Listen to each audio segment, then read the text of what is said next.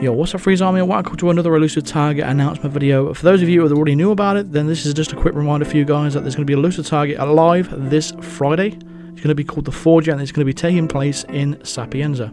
Now, he's going to have an entourage of about three bodyguards, so it's not going to be the easiest of all the elusive targets. It's one of the most difficult ones, in my opinion. And uh, yeah, so I only did one video at the time. That was just a silent assassin video and judging from it, it looked, um, it does still, still seem pretty easy during that video, but I'm, I'm still going to try and come up with a, a better, easier, safer way of getting that elusive target done, Silent Assassin.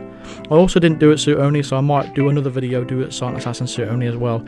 So for those of you wondering, it's going to be taking place at 1pm this Friday, uh, that's UK time, 2pm European time, that's 8am Eastern time. So if you're around that then, then you want to check out that elusive target. It's going to be available for 10 days as usual.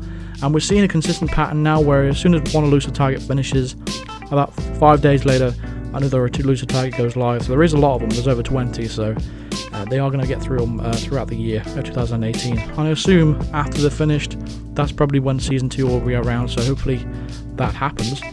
But uh, yeah, so for those of you that you're aware of, there you go. Just a quick reminder for you guys.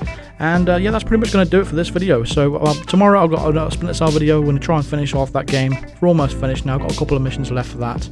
And once that's finished, we'll be working on Hitman Blood Money. I did put a poll in the community tab, and you guys have voted, and you guys uh, picked Hitman Blood Money to be my next playthrough. So I will be going through that. So hopefully you enjoy that. So that's going to do it for this video. So thank you very much for watching, guys. If you haven't subscribed to the channel, make sure you do that. And drop a like on the video if, if you like the video. And I'll see you guys then. See you guys Friday. Cheers.